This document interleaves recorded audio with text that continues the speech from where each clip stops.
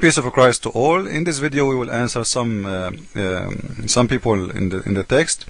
It's, you know, some people they really don't want to use their brain, and they make a very funny comment, and you know, make me feel that sometimes I'm talking to a bunch of dummy. With my respect to everybody, this is Mr. Grass trying to answer us in a very smart way. Simple answer: Did the word womb exist in Arabic at the time? If it did, then it is scientific error and mean all of Islam is wrong. If the word womb did not exist, then it can be said no such a word exists. So Billy was used. Allah could not say Billy if he Allah knew how to say womb. But did the word womb exist in the Arabic language at the uh, early 7th century? See, so his claim that's Allah because he do not know the word womb, so he have to use the word Billy. That makes sense. He's a smart, you know. First, you know, uh, Mr. Grass, if we are talking about Allah, supposedly Allah is God. So God, even if the word does not exist at that time, He can tell us what the word will be used for this after 7th century. Don't you know? Don't you think so? Are you telling me that the God do not know what will happen and what words and do not what what people will call this part of the body? After the 7th century. Secondly, the Quran have the word womb already. And we have the word womb in the language, not only in the Arabic, in the Aramaic, the mother language, 3,000 years before Islam, before Christ, sorry. This is, this is your, this is the Quran. All of those words are the womb. You see it? Al-Arham, Al-Arham, Al-Arham, Al-Arham. So the word womb is exist. So there is no excuse to say they are coming from the stomach or from the belly. Somebody in other comment he said, this is being little bicky. Most parents tell the children that the baby is coming from uh, from the tummy or the belly. Okay, you know when your parents talk to you, they you know in this way because you are a, you know just a, a dummy kid. When you are an adult, your dad will not tell you you are coming from your mom tummy. Is that correct?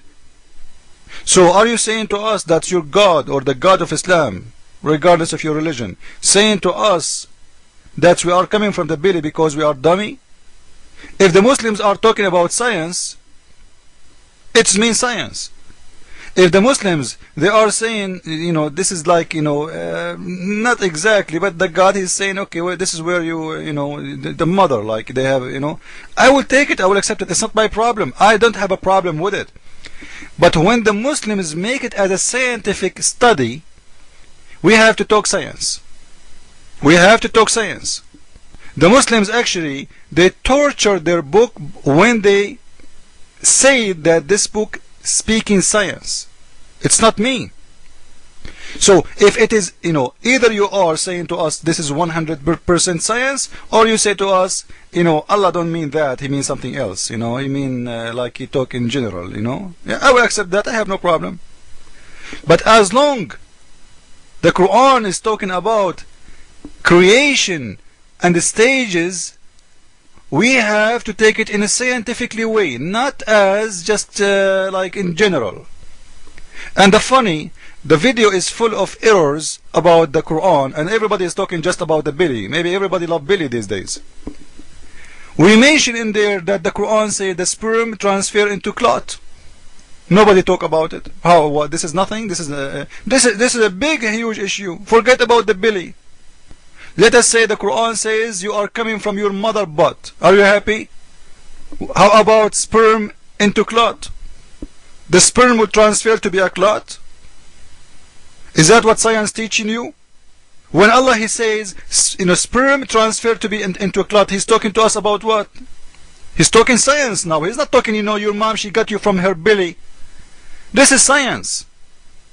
He's talking about fact. This is not spiritual teaching no more. As long he is saying the sperm turned to into, into, into clot, this is a scientific fact. This is no spiritual. Spiritual is over now. There's many verses, we cannot take them as they are because they are spiritual. We cannot take them but whatever the word mean. Because simply they are, you know, saying uh, spiritual things. And not in this case, as you see. So nobody talk about it, but everybody is talking about the belly. Like this one. and you go to the verse number one of it in the Quran, you will see the, the Muslims saying, uh, uh, Bismillahir Rahmanir Rahim, in the name of Allah, most gracious, most merciful. This is what they say. But in Arabic, it is Ar-Rahman, Ar-Rahim. Ar-Rahman and Ar-Rahim, both of them, they are coming from the word womb. Both of them, not only one. So even the names of Allah, they are coming from there. Read with me. Ar-Rahman, Ar-Rahim. Ar-Rahman, Ar-Rahim. He kept repeating himself, repeating his name. The word Rahman and the word Rahim is coming from the word Rahim. Rahim. And this is an Aramaic word. The Arab copy it and use it in their languages, in their language, you know, for hundreds of years before Islam and became part of the Arabic. Now when we say Rahma or Rahim or Rahman, you know, none of the Arab will say this is not an Arabic word because it became part of the language.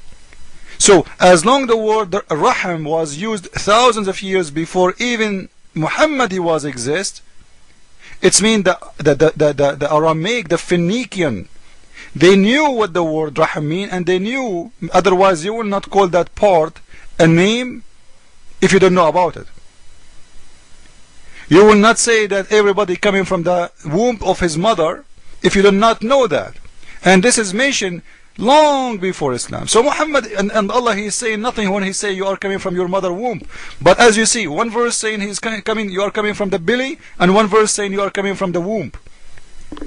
But most of uh, uh, most of all is the important is nobody is talking about how the sperm transferred to be a clot and how the clot became a fetus.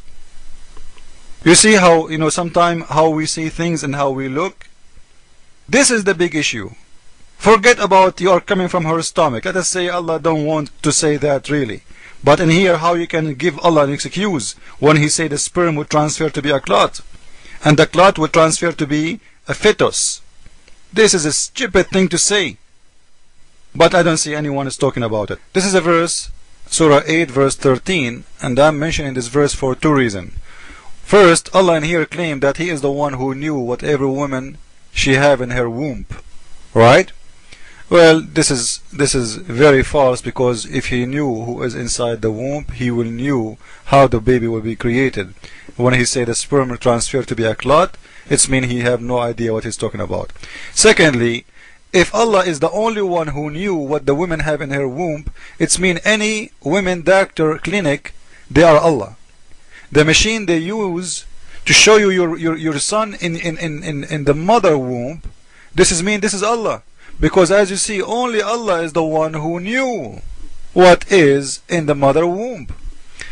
But the most important in this verse in here is the explanation of this verse and the story of Muhammad talking about how Muslim women she can be pregnant. I should make a video about this. I think I have one already, but I will make another one.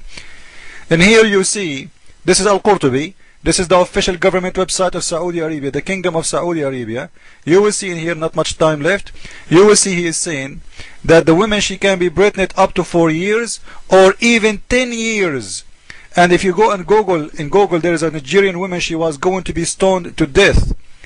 The lawyer was able to save her life from being stoned for adultery accusation but you know by proving from this verse that she can be pregnant from her husband who passed away two years ago. Because in Islam the women she can be pregnant for almost 10 years. So when he proved that according to his prophet she was saved.